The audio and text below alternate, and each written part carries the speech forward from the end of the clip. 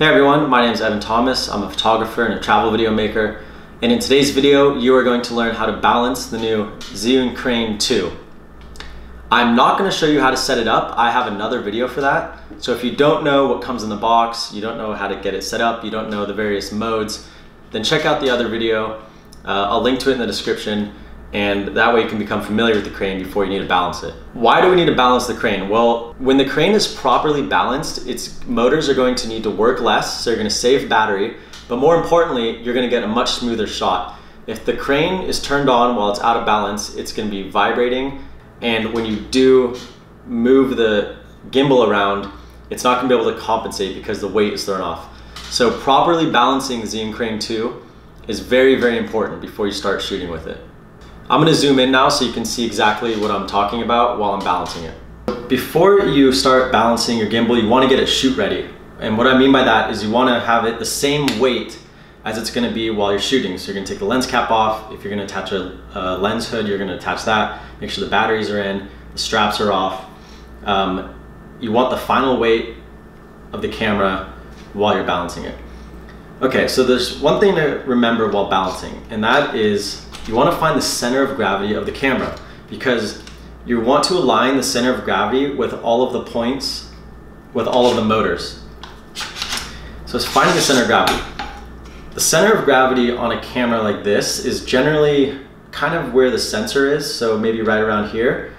The longer the lens, obviously, the further out the center of gravity moves. If you have a shorter lens, the center of gravity moves that way. So if I were to try to balance this on my finger right here and I let go, you can see it's gonna fall back. If I were to balance it closer to here, it's a little bit more stable.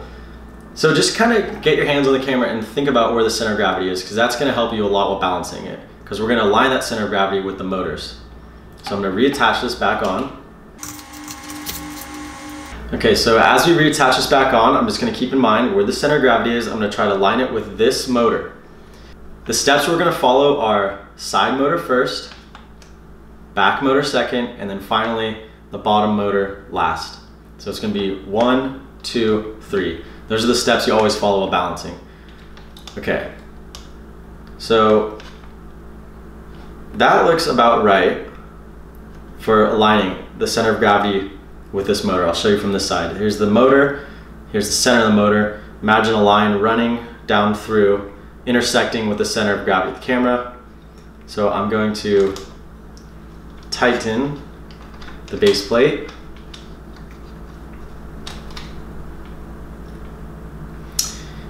And now we're going to adjust this motor. So the way you do that is by pointing the camera down. And this is actually already pretty adjusted. But I'm just gonna throw it out of balance so you can see how I would do it anyway. So let's say when I pointed it down, the camera was falling this way. So what that's telling me is that the center of gravity of the camera is too far on this side of this motor. So we need to move the center of gravity back in line with the center of this motor. So I'm gonna move it this way. And you always make micro adjustments. The smallest movement on these gimbals has a big effect. So you only need to move it just barely. And every time I move it, I'm just letting go to see if it's falling back. Okay, so that is perfectly balanced for this motor. So now I'm gonna tighten this.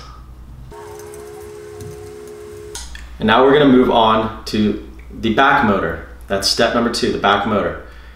So you can see that if I hold this, if I let go, the camera is falling this way.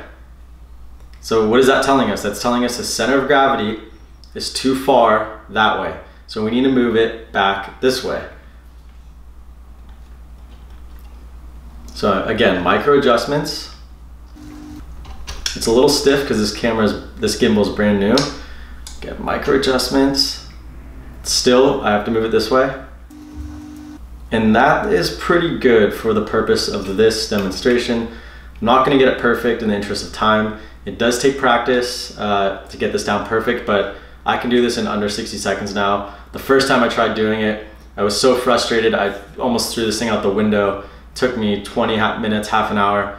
But just keep practicing guys and you'll get it. it. You can do it in under 60 seconds once you know, just once you get the feel for it. And then finally, To do the last uh, adjustment, which is on this bottom plate, you hold the gimbal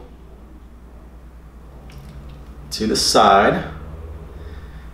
And again, the camera is falling, I'm gonna hold it this way. You can see the camera is falling forward.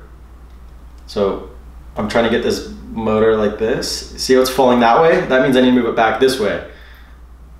And this is the most difficult one because you have to hold it at the same time. So now when I line it up in the middle, it looks like it's working. I'm trying to get this, this motor on the back parallel to the floor. It's kind of hard to see.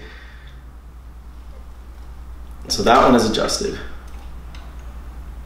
And now, when the gimbal is properly balanced, I should be able to point it in any direction and it will stay in that direction. That's how you know the gimbal is properly balanced. So now when I turn it on by holding the power button down for two seconds or three seconds, it comes alive and it's perfectly balanced.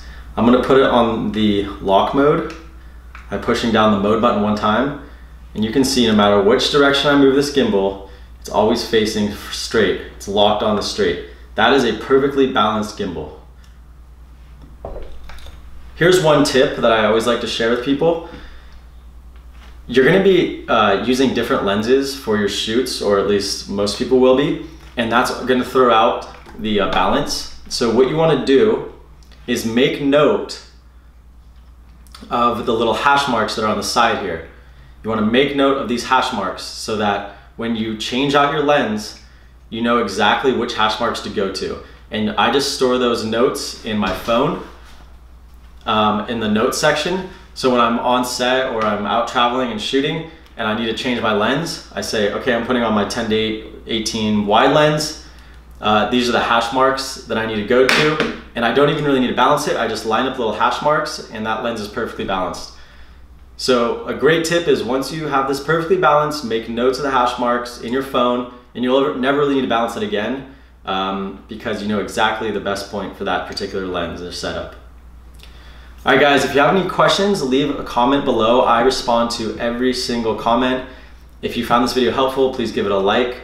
And please subscribe to see the videos that I make with this New Zhiyun Crane 2, um, as well as any more tutorials. Um, I think you'll enjoy the videos that I put out, so please subscribe or leave a comment. Thanks.